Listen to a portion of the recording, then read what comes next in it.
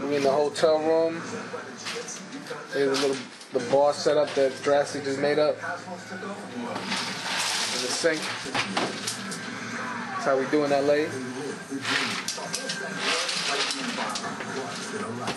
Alright, let's